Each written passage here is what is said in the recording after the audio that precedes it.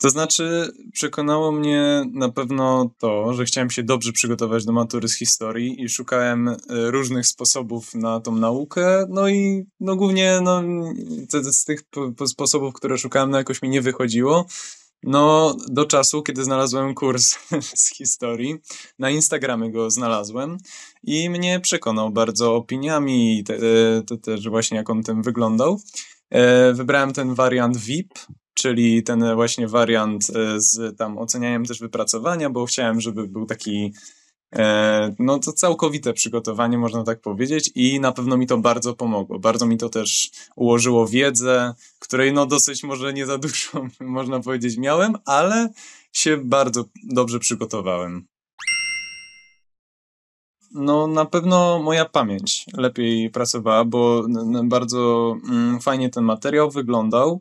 E, no właśnie nie był taki, można powiedzieć, monotonny, taki podręcznikowy, że właśnie raz było jakieś quizy, czy właśnie jakieś zadanka fajne, maturalne w różny sposób e, robione, jakieś takie fiszki, można powiedzieć, historyczne. Jest to e, w bardzo sposób było fajnie robione i no tak mentalnie się czułem, że umiem ten materiał. Naprawdę mój mózg jest w stanie wykorzystać cały potencjał historyczny E, niż to było wcześniej, ucząc się na podręcznikach czy na samym repetyto, e, repetytorium, gdzie to jakoś mnie no, nie, nie pobudzało, może tak.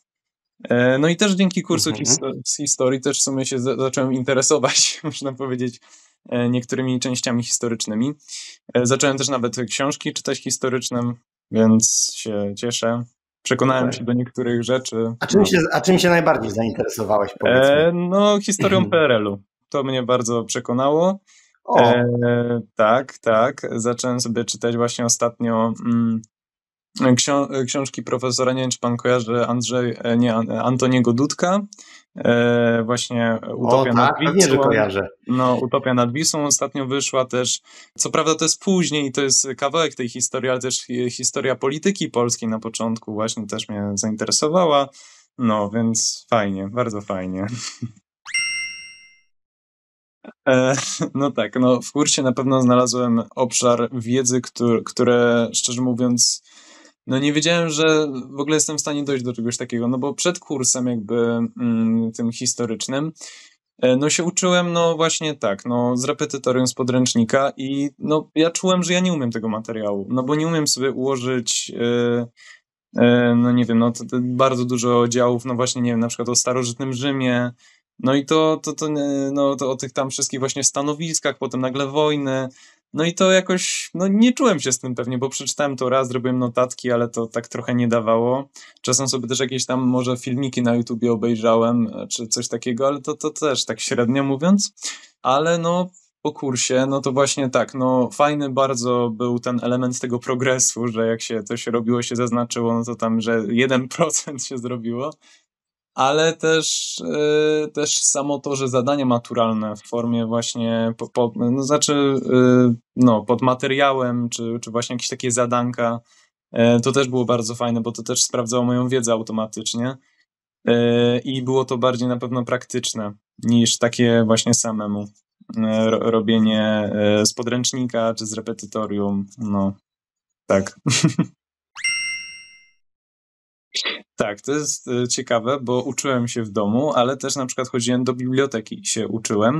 Co prawda wtedy y, może nie, nie słuchałem wide- e, tych materiałów wideo, ale za to robiłem, bo zawsze pod każdym, każdą epoką były set zadań maturalnych, taki na przykład tam 10, 15, coś takiego, no to właśnie coś takiego sobie robiłem.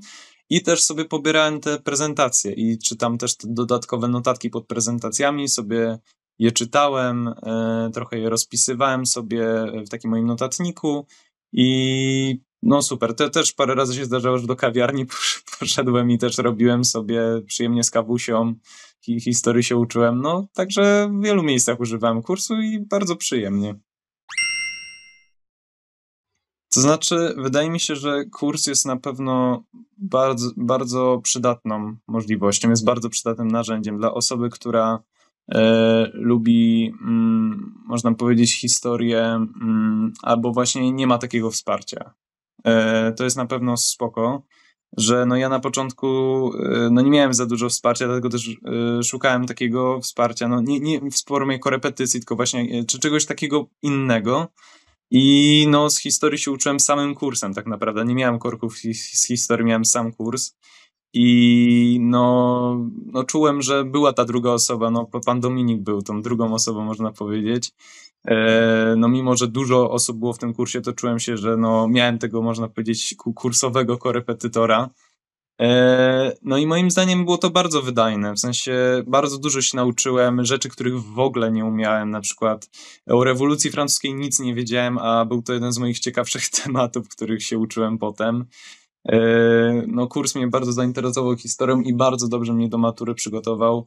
No, to co już powiedziałem, że no, w szkole nie uczą metodologii e, egzaminu maturalnego, a właśnie w kursie jest dużo tych jakichś e, maturalnych rzeczy pod arkusze, pod samą maturę i jest to na pewno o wiele lepsze i czuć, że człowiek się lepiej przygotuje, ma, ma taki background wiedzy lepszy z tym kursem moim zdaniem.